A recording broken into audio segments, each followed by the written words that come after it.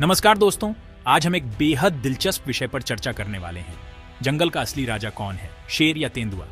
यह सवाल सदियों से लोगों के मन में है और आज हम इसका जवाब ढूँढने की कोशिश करेंगे। तो चलिए, आज जानते हैं जंगल में राज किसका है। क्या शेर की ताकत और उसकी दहाड़ उसे जंगल का राजा बनाती है? या फिर तेंदुए की चालाकी और फुर्ती उसे इस खिताब का हकदार बनाती है? शेर का या तेंदुए का? दोनों ही जानवर अपने अपने तरीके से अद्वितीय हैं और दोनों की अपनी अपनी खूबियाँ हैं। एक रोमांचक सफ़र पर चलते हैं। जंगल का राजा, शेर। शेर को उसकी ताकत, उसकी दहाड़ और उसके शिकार करने के तरीके के लिए जाना जाता है। अपनी दमदार बॉडी और दहाड़ से सबको डरा देता है। उसकी मांसपेशियाँ और उसकी ताकत उसे जंगल का सबसे खतरनाक शिकारी बनाती है। 150 से 250 किलो तक। कोई भी शिकार इसके पंजों में फंस जाए तो बच नहीं सकता। शेर का शिकार करने का तरीका भी बेहद खास होता है।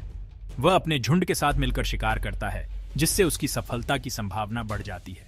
पर क्या तेंदुआ कुछ कम है?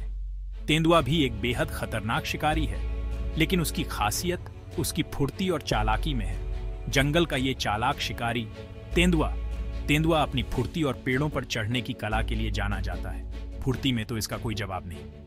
तेंदुआ बेहद तेज दौड़ सकता है और ऊंचाई पर छलांग लगाने में माहिर होता है। 30 से 90 किलो तक, पेड़ों पर चढ़ने में उस्ताद। तेंदुआ अपने शिकार को पेड़ों पर ले जाकर दावत उड़ाता है, जिससे वह अन्य शिकारी जानवरों से अपने शिकार को बचा सके। शिकार को अक्सर पेड़ों पर ही ले जाकर दावत उड़ाता है। यह उसकी एक खासियत है, जो उसे अन्य शिकारी जानवरों से अलग बनाती है। अब सवाल है, अगर आमने सामने की लड़ाई हो जाए तो जीतेगा कौन? यह सवाल बेहद रोमांचक है और इसका जवाब देना आसान नहीं है।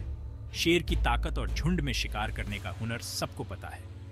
शेर अपने झुंड के साथ मिलकर शिकार करता है, जिससे उसकी ताकत और भी बढ़ जाती है।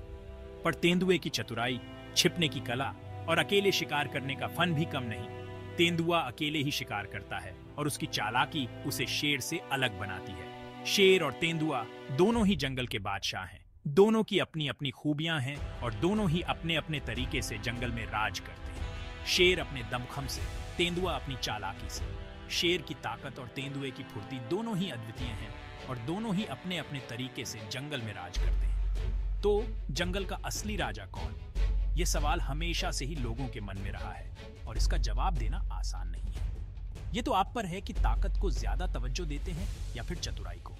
शेर की ताकत और तेंदुए की चालाकी दोनों ही अद्वितीय हैं और दोनों ही अपने अपने तरीके से जंगल में राज करते हैं। अगले वीडियो में और भी मज़ेदार जानवरों की बात करेंगे। हम जानेंगे कि अन्य जानवरों की क्या खासियतें हैं और वे कैसे जंगल में अपना जीवन व्यतीत करते हैं। तब तक के लिए शुक्रिया और जय हिंद। हमें उम्मीद है कि आपको यह वीडियो पसंद आया होगा और आप हमारे अगले वीडियो का इंतज़ार करेंगे।